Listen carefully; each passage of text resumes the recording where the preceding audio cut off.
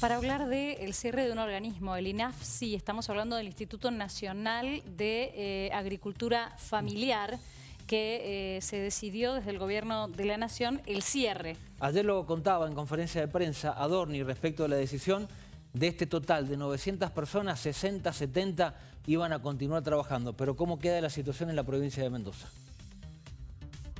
Nuestro trabajo básicamente es un trabajo que está situado en los lugares más profundos y remotos de la ruralidad de Mendoza. La mayoría de nosotros somos técnicos de terreno, tenemos otros compañeros que apoyan en la cuestión de diagramación, de cartillas de capacitación, difusión de nuestras tareas técnicas, pero nosotros estamos acompañando a los campesinos, agricultores familiares y comunidades de, pueblos originarios en lo profundo de la provincia y del Estado Nacional. ¿Cómo acompañamos? Con proyectos de abastecimiento de agua, políticas para el agregado valor en los territorios. Generamos eh, alternativas para que exista arraigo rural, trabajamos con políticas de género y sobre todo fortalecemos cuestiones que tienen que ver con la producción de alimentos, hortalizas, producción ganadera, como la gran cantidad de puesteros y crianceros de chivos y cabras que tenemos en Mendoza y por el otro lado tenemos una función muy importante en acompañar a contratistas de viña que son este, los que sostienen la gran mayoría de las tareas de eh, la vitivinicultura mendocina. Lo que se ha anunciado ayer es que se reduciría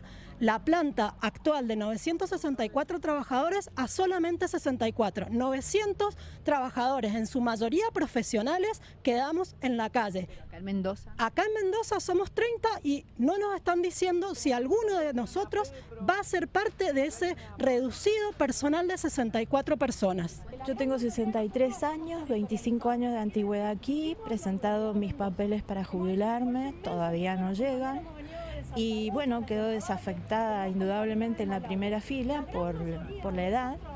He trabajado siempre en el Cinturón Verde de Mendoza, asesorando productores eh, agrícolas. Hay un mal deseo de que no trabajemos en el campo, de que la gente se las arregle como pueda.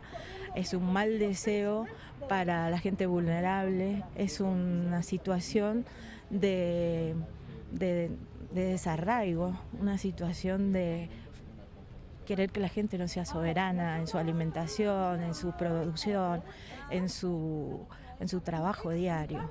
Lo veíamos venir, no creíamos que iba a ser tan, eh, tan rápida, tan, tan espantosa, no sé, no, digo, es, difícil ponerlo.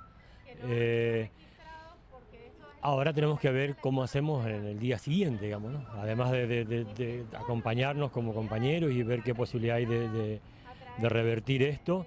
Eh, la mayoría de nosotros somos tiempo completo a este trabajo, es decir, hemos dejado trabajos particulares. El Estado Nacional puede tener razones o derechos para, para direccionar sus políticas públicas en otro sentido, pero digo, ¿para qué nos ofende? ¿Para qué nos... digo eso?